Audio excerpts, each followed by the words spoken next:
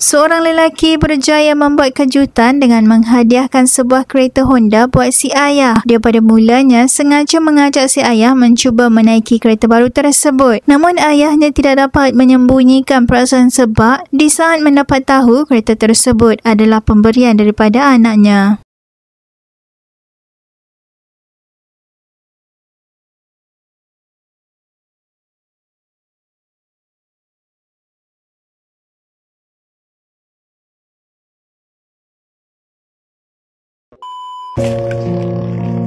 Berkenan. Berkenan. Kenapa? Tadi halang.